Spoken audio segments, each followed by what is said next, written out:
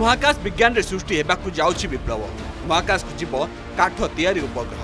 ଏଥିପାଇଁ European space agency ପ୍ରସ୍ତୁତ କରିଛି ସାଟେଲାଇଟ୍ ଭିସା ଉଡ୍ସାଟ୍ ଯୋଜନା। ଚଳିତ ବର୍ଷ ଶେଷ ବେଳକୁ ମହାକାଶକୁ ଯିବ କାଠ ତିଆରି ଉପଗ୍ରହ। ଜାପାନ ମଧ୍ୟ କାଠ ତିଆରି ଉପଗ୍ରହ ପାଇଁ କରୁଛି ଯୋଜନା। ଆଗକୁ ମହାକାଶ ବିଜ୍ଞାନରେ ଆସିବାକୁ ଯାଉଛି ବିପ୍ଳବ। ଏଥିପାଇଁ ଏବେଠାରୁ ଆରମ୍ଭ ହୋଇଗଲାଣି ପ୍ରତିଯୋଗିତା। ଶେଷ ହେବାକୁ ଯାଉଛି ବ୍ୟୟବହୁଳ ଧାତୁ ନିର୍ମିତ କୃତ୍ରିମ ଉପଗ୍ରହ ପଠାଇବାର ଯୁଗ। ଏଣିକି ମହାକାଶକୁ ଯିବ କାଠ ତିଆରି ସାଟେଲାଇଟ୍।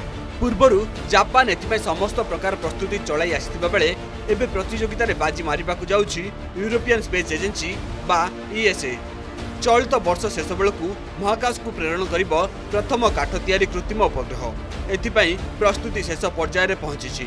ବିସା ଉଡ୍ସାଟ୍ ନାମକ ଏହି ମିଶନର ପରିକଳ୍ପନା କରିଛନ୍ତି ଫିନଲାଣ୍ଡର ଲେଖକ ଏବଂ ବ୍ରଡକାଷ୍ଟର ଜାରି ମାକିନେନ୍ ଏବଂ ତାଙ୍କ କମ୍ପାନୀ ଆର୍ଟିକ୍ ଆଟ୍ରୋନେଟିକସ୍। ଉଡ୍ସାଟ୍ ଏକ ନାନୋ ସାଟେଲାଇଟ୍ ଭାବରେ ମହାକାଶକୁ ପ୍ରେରଣ କରାଯିବ ଯାହାର ଆକାର ରହିବ ଦଶ ବାଇ ଦଶ ବାଇ ଦଶ ସେଣ୍ଟିମିଟର। କ୍ୟୁବସାଟ୍ ଆକାରର ସାଟେଲାଇଟ୍ଟି ସମ୍ପୂର୍ଣ୍ଣ ପ୍ଲାଏଉଡ୍ ଜାତୀୟ କାଠରେ ବାକ୍ସ ଭଳି ତିଆରି କରାଯାଉଛି ଯାହାର କୋଣରେ କେବଳ ଆଲୁମିନିୟମ ବ୍ୟବହାର କରାଯିବ। ଏହା ସହିତ ଏଥିରେ ଏକ ଧାତୁ ତିଆରି ସେଲ୍ଫି ବାଡ଼ି ଲଗାଯିବାର ବ୍ୟବସ୍ଥା ମଧ୍ୟ କରାଯାଇଛି। ପୂର୍ବରୁ ଛଡ଼ାଯାଉଥିବା ଧାତୁ ନିର୍ମିତ ସାଟେଲାଇଟ୍ ଗୁଡ଼ିକ ମହାକାଶ ଆବର୍ଜନା ସୃଷ୍ଟି କରୁଥିବାରୁ ଏପରି କାଠ ନିର୍ମିତ କୃତ୍ରିମ ଉପଗ୍ରହର ପରିକଳ୍ପନା କରାଯାଇଛି।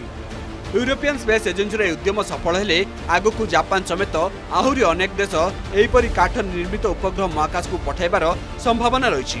ହୁଏତ ଏହି ଅଭିଯାନରେ ଭାରତ ମଧ୍ୟ ଆଗକୁ ସାମିଲ ହୋଇପାରେ। କାରଣ ମହାକାଶ ବିଜ୍ଞାନରେ ଭାରତ ବିଶ୍ୱର ଅନ୍ୟତମ ଆଗୁଆ ଦେଶ ଭାବରେ ପରିଚିତ। Report Argus news.